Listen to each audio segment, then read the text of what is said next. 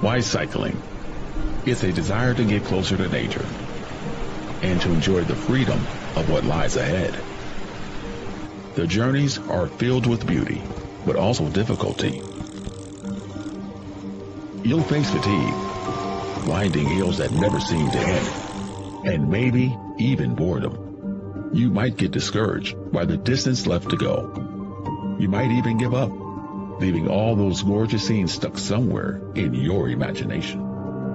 What if there was an e-bike that made riding easier, that let you go further, or even ride like a pro? What if it were lightweight, easy to use, and shockingly comfortable, letting you travel smoother and more freely?